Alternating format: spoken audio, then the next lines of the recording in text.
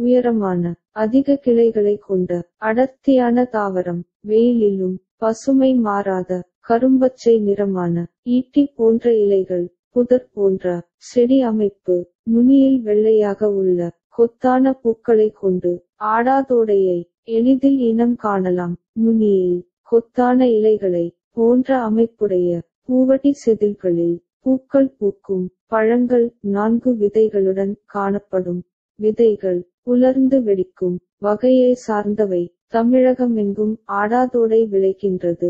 கிளைகளை வெட்டி நட்டாலே முளைத்துக் கொள்ளும் தன்மையை ஆடாதோடை கொண்டுள்ளது. கிராமங்களில் வேலிகளிலும் தரிசு நிலங்களிலும் ஆடாதோடை ஏராளமாக காணப்படுகின்றது. கபக்கொல்லி சளிக்கொல்லி போன்ற வழக்கு பெயர்களும் ஆடாதோடைக்கு உண்டு. இலை பூ வேர் ஆகியவை சிறப்பான மருத்துவ பயன் கொண்டவை. இலைகளிலிருந்து மஞ்சள் நிறமான சாயம் தயாரிக்கப்படுகின்றது.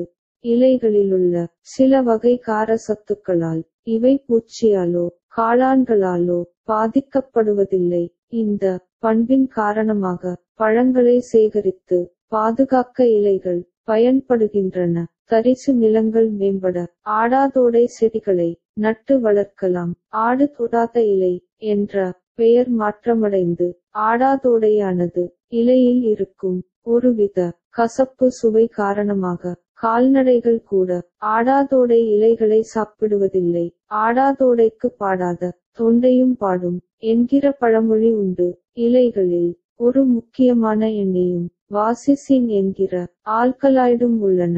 மருத்துவ பயன்கள் மற்றும் மருந்து முறைகள்.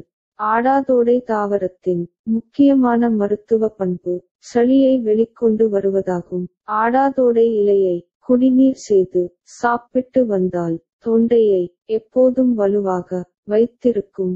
சளியை போக்கும் தன்மையுடன் வயிற்று பூச்சிகளை அழிக்கும் தன்மையும் ஆடாதோடைக்கு உண்டு.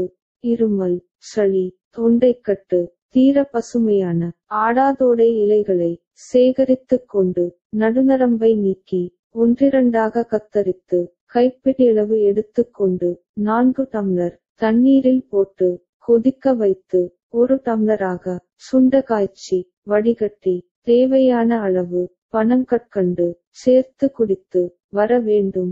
தினமும் இரண்டு வேளைகள் இவ்வாறு செய்யலாம். சளி இல்லாமல் புகைச்சலாக ஏற்படும். வறட்டு இருமல்.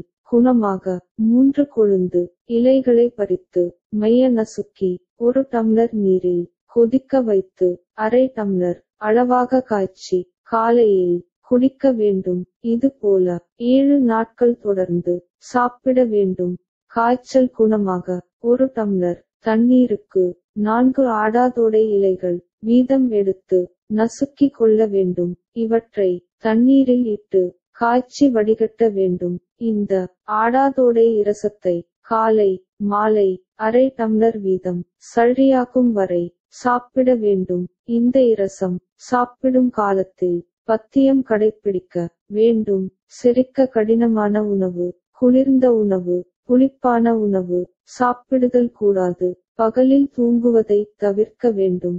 ஆஸ்துமா மூச்சுத்திணறல் கட்டுப்பட ஆடாதோடை இலைகளை காய வைத்து தூள் செய்து வைத்து கொண்டு இதனை காய்ந்த ஊமத்தை இலையில் சுருட்டி புகைப்பிடித்து வர கட்டுப்படும்